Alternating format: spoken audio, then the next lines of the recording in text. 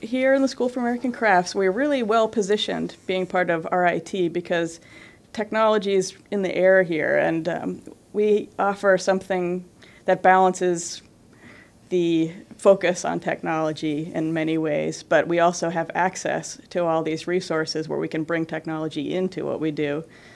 We're looking into ways that technology could enhance the making and designing process, but not let go of the intimacy with materials and techniques that we really focus on in the School for American Crafts.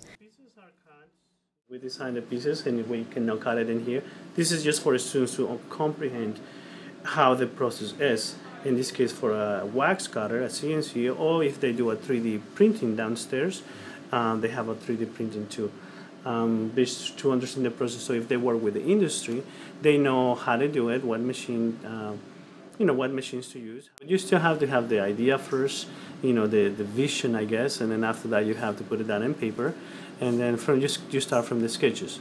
It's, it's a much quicker uh, in the sense of getting immediate perspective opportunities to change, and, and it's very quickly. You just change a section. You don't have to erase it and do another rendering.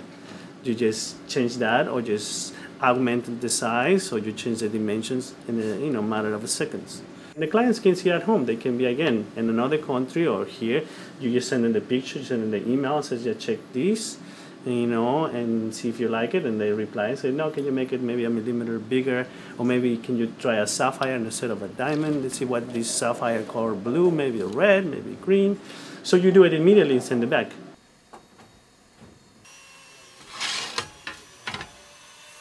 Basically I just had the design made on Rhino um, in the perfect dimension and then um, take it to the third party to get it, you know, laser cut. And it comes out flat like that. And then you can do whatever you want to do with it. I think for the artist or designer, the major difference is like art usually you design from your own perspective like for the product you design for your client.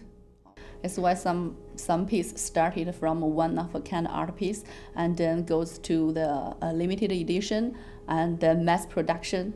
That's that whole process. The CNC machine definitely gonna help.